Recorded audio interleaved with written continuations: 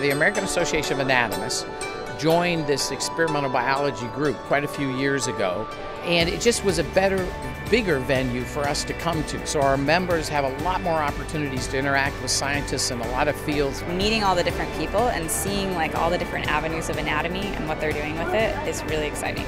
With AAA, everyone is so overwhelmingly friendly and welcoming that the, the networking aspect really does develop itself. The great thing is you get to meet your colleagues in the field and see what they're doing and get great new ideas to take back to the bench or to take back to the classroom.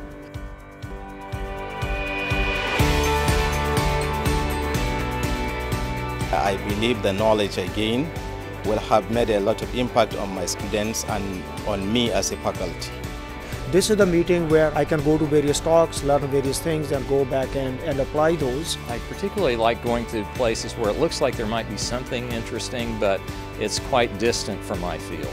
Uh, and then see whether there's some way that Venn diagram can kind of cross over in the middle there somewhere. This is the only time where I can meet other people and get you know advice and encouragement. And this um, particular event is really like they want to promote me in my career too.